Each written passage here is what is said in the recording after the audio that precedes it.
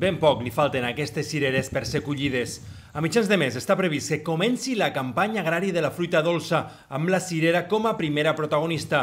Són campanyes curtes però que necessiten molta mà d'obra i amb la crisi del coronavirus no està clar com aconseguir-la. La certesa de que faltaran eh, 1.000-1.500 persones a les Terres de l'Ebre per fer la campanya agrària, avui, i amb tota sinceritat, és una incògnita. El que ara són magatzems buits en uns dies bulliran d'activitat.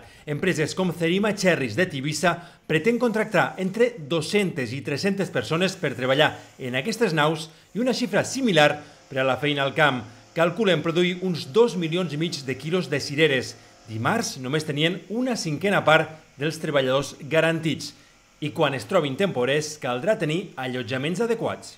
Demanar al Ministeri d'Agricultura que fes el favor d'establir uns protocols de seguretat per com i de quina manera s'havien de gestionar els allotjaments col·lectius, és diguem, de tinguem en compte que els allotjaments col·lectius són espais on hi conviuen gent, molta gent, en principi amb les condicions d'higiene i tot, tot correcte, però sí que és veritat que a Batea, per exemple, l'allotjament és de 50 persones, i per tant, amb un espai relativament petit i conviuen molta gent.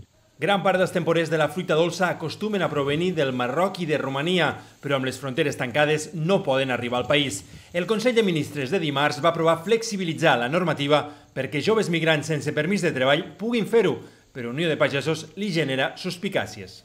Si del que es pretén, com algú ens sembla, és utilitzar aquesta eina per regularitzar immigrants que viuen a les ciutats lluny del lloc de treball, tornem a anar allà on érem, és a dir, amb problemes per com i de quina manera gestionem eh, aquests allotjaments col·lectius.